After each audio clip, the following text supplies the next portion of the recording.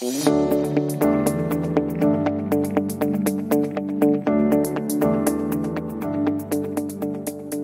to another episode of Investing Compass. Before we begin, a quick note that the information contained in this podcast is general in nature. It does not take into consideration your personal situation, circumstances, or needs. All right, Shani, we're going to talk about Warren Buffett today. And the last time we did a podcast on Warren Buffett, we released it at 6 p.m. on a Saturday night because, as long-time listeners know, we encourage you to play the Warren Buffett drinking game. Which is very complicated. Yeah. Every time we say Warren Buffett, you have a drink. Exactly. And the last episode was about Berkshire Hathaway, and you would have been on the floor within the first five minutes. We thought a Saturday release would be much more appropriate than a 6 a.m. on Sunday. I mean, do you not think that most people have better things to do at 6 p.m. on a Saturday night, Shani? I thought so, but some of you don't because 496 of you listened to our podcast on the Saturday night. So you went back and checked. I did. Because 496 seems like a very exact number. yes. All right. Well, we will dedicate this podcast to those 496 people. And today we're going to talk about Buffett's 2023 annual report that was recently published. And there's a lot to unpack in there, so we'll go through some of the key takeaways that have been put together by Morningstar's Susan Dziubinski. But Buffett also called out three stocks that he says Berkshire will hold indefinitely. We're going to go through these stocks and what Morningstar equity analysts think of them. And one thing that we should call out is it's sad, but this is the first shareholder letter that he released since his partner Charlie Munger died, which happened in November of 2023. Investment partner. Yes, sorry, investment partner. Uh, we did go through, I think, in that last episode or some episode, his very complicated marital situation, but probably once is enough, right, Shani? Yeah, I think you're right. But back to the letter. He added a letter to the beginning of 2023's edition to acknowledge Munger's contribution to Berkshire. He has often been credited for changing Buffett's perspective of investing and shifting his and then Berkshire's towards and then Berkshire towards quality companies. Buffett calls Munger the architect of present Berkshire, whereas Buffett was a general contractor that carried out the vision. Wow, that's quite a quite an analogy there. Romantic. Yes. Um, all right. Well, aside from that special note, Buffett's letters always follow a certain theme. It's not focusing on the hot stocks that investors should invest in that year. It's focusing on reminders for investors on how to invest successfully. And he notes in this letter, and this is a quote Though the stock market is massively larger than it was in our early days, today's active participants are neither more emotionally stable nor better taught than when I was in school. For whatever reason, markets now exhibit far more casino like behavior than they did when I was young. The casino now resides in many homes and daily tempts the occupants. Well, there we go. And I know that I'm a lot less emotionally stable than I was when I first started investing. So, similar I'm like the Warren Buffett of this podcast, basically because I'm the old white guy, right? No comment. Okay, there we go. Earlier, Shani was ranting once again about the theft of national treasures in Sri Lanka and the fact that they're in the British Museum. So, just a little caveat here to her present attitude. But let's go back to speculation and investors. So, really what Buffett's talking about is the increase in speculation, which we've talked about a lot on this podcast, especially newer entrants to the market since COVID. And he goes on to say that investors should focus on fundamental principles. The first is clarity of purpose when investing. We advocate for that through having structure and a plan, starting with an investment policy statement and going through the portfolio construction process. We talk about this all the time, so we won't need to spend time on the steps here, but you're able to find articles and podcast episodes that go through this process on morningstar.com.au. And the second is focusing on quality investments, or in Buffett's words, wonderful businesses. This is about seeing yourself as a business owner. We invest in companies for their future earnings. Think about whether businesses are profitable over the long term, understand whether they have sustainable competitive advantages or moats, that will protect them from competitors and stop them from eroding their earnings. Then it is favoring companies run by good managers. Capital allocation decisions will ultimately determine the level of success of the company. It is good managers that will know where best to distrib- distribute profit, whether that be investing in growth, distributing dividends, or share buybacks. And then one big tenet, obviously, of Buffett's is hold for the long term. And this one is pretty self explanatory. I recently spoke about how I don't plan to sell my long term holdings. And this is coupled with other factors mentioned by Buffett quality investments with good managers. Why would you sell a quality asset run by good managers? The last fundamental principle of success is practicing fiscal conservatism, and this is a promise that he makes to shareholders of Berkshire. He holds a sizable amount of cash and he treats this as an insurance policy on Berkshire, which he calls a fortress like building through, thought to be fireproof. Buffett plans to safeguard the savings so shareholders are not exposed to permanent loss of capital. Cash naturally plays an important role in that strategy. In a personal investment strategy, this is your emergency fund. One other point to note about cash is the role that Berkshire played in the financial crisis in 2008. The US economy was imploding, and of course, Buffett had a sizable cash balance that could be deployed, and it was deployed. Couple examples of this is the investment in Goldman Sachs, and then a few years later in Bank of America. And this isn't just charity or a parachute to save the US economy out of the goodness of Berkshire's heart. It is the ability to purchase distressed assets at extremely attractive prices. This is another lesson for investors. Investors should be wary of holding cash in case of a downturn. This is very much tactical asset allocation and timing the market. However, purchasing quality assets that are undervalued is the key to successful long term investing. Investors can take advantage of undervalued opportunities in the right circumstances. They have liquidity, they are not deviating too far from their strategic asset allocation, and they have the time horizon required for the investments that they're investing in. Okay, so those are the principles that form the basis of Buffett's investment philosophy. There was a much more interesting part of the letter that ties in with the quality companies as long term holdings. And there's no longer holding period than forever, which sounds like a diamond commercial, right? yeah, for De Beers. Um, Buffett called out three stocks that Berkshire would hold indefinitely due to the strength and prospects of businesses. All of these stocks are listed in the US. And it is worth noting that all three of these stocks aren't undervalued.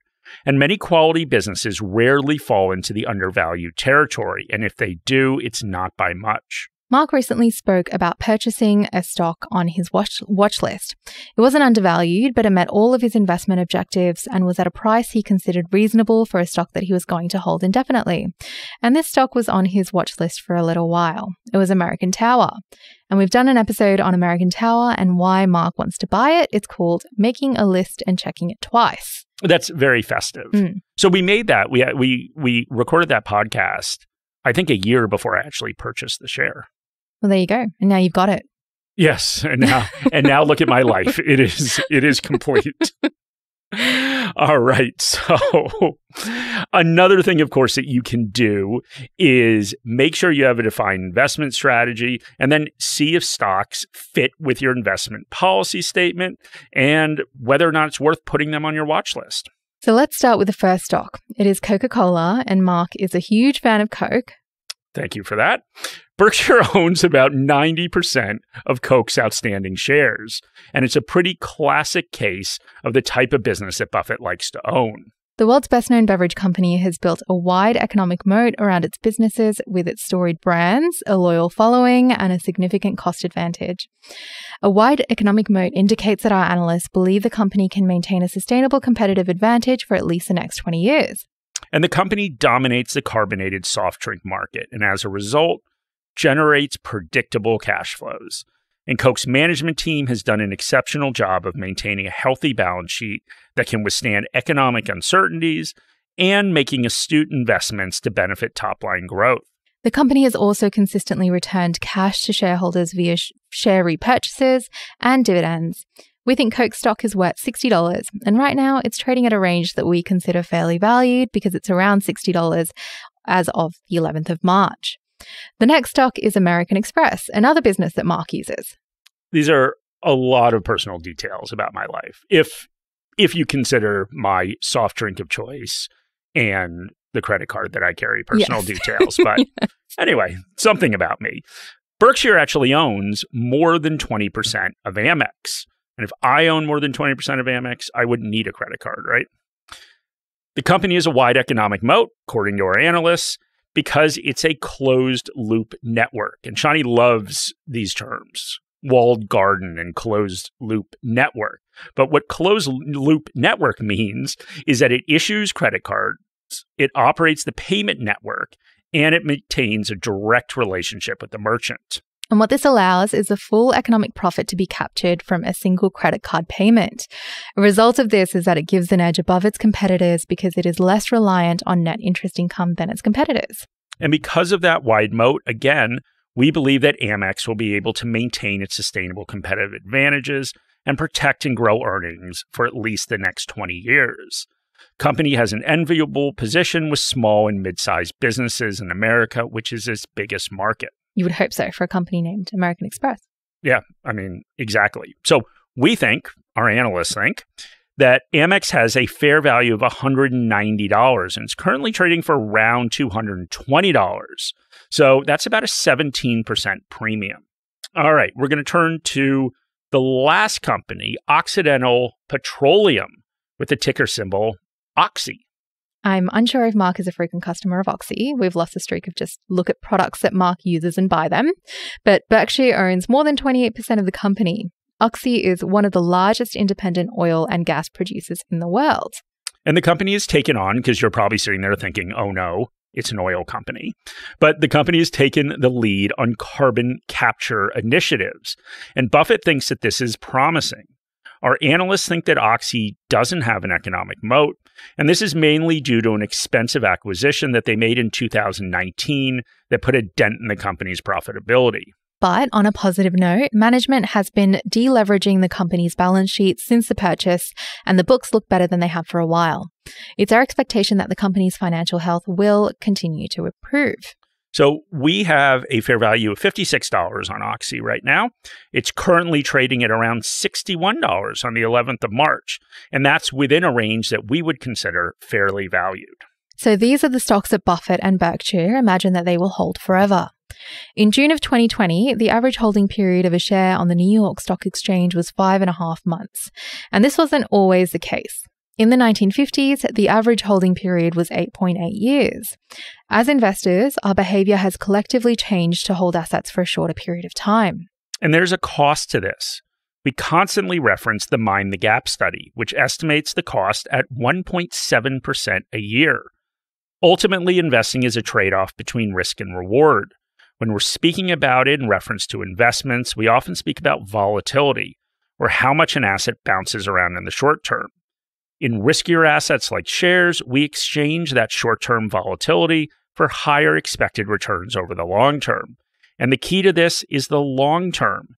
If you want to consistently achieve high returns from shares, you need to hold them for long periods of time so that the short term drops in price can be counteracted If your holding period is forever, you'll never have to realize a capital gain or loss, and that volatility from share prices starts to not matter. There are other benefits as well to indefinite holding periods. You will avoid capital gains tax. You'll also pay less in transaction costs, both brokerage and buy sell spread. Longer holding periods afford you the opportunity to reinvest dividends, and that has a compounding effect on not just the number of shares you hold, but also the income generated from your holding if you were to turn off dividend reinvestment in the future. Far outweighing these bene- other benefits is the likelihood that longer holding periods will result in less mistakes. If you're holding an investment that continues to conform to your investment thesis as well as your investment policy statement, it starts to become harder to justify selling. An important part of this is ensuring that you purchase quality businesses. And you can't deny that businesses like Coke, Amex, and Oxy are perfect examples of this. And as investors, think about your own portfolio in the same way. Many investors that we hear from have core holdings that make up a good percentage of their portfolios. These might be companies that have been owned for years. Over that time, it can be obvious that the philosophy of the company closely aligns to your own philosophy as an investor. It can be a conservative approach to capital allocation decisions, keeping some dry powder to strike when opportunities arise, or simply a focus on returning cash to shareholders through dividend and buybacks. That's right, Shani. I know that's something that I do with my own portfolio. There are many ways to be a successful investor, and there are many different approaches that are ingrained within a company through their culture. Getting that alignment is really important. allows us to sleep at night as investors, and allows us to maintain confidence in a holding when markets get choppy. Creating that symbiotic relationship can remove a lot of the behavioral risk from investing. The investment world is quick to jump on anything Buffett di- uh, dies. I'm not announcing Buffett's death, just to be clear. That would be crazy. That would be crazy. Anything Buffett does, the investment world is quick to jump on anything Buffett does. Each share he buys or each share he sells. But the real lesson is his temperament and patience. It is easy to dismiss Buffett by talking about how much money he has and his recent returns. But a wise investor focuses on how he built that fortune in the first place. All right. Thank you for listening to our Buffett episode. For those that are still coherent, at the end of this. Um, maybe people pause and start this up again after a couple hours, but we appreciate it. If you have any ideas for future shows or any suggestions, you can send me an email. It is in the show notes. And of course, we love ratings in your podcast app and any comments you want to leave. Thank you. Any advice in this podcast is general advice or regulated financial advice under New Zealand law prepared by Morningstar Australasia Proprietary Limited and or Morningstar Research Limited without reference to your financial objectives, situations or needs. You should consider the advice in light of these matters and any relevant product disclosure statement before making any decision to invest. To obtain advice for your own situation, contact a financial advisor.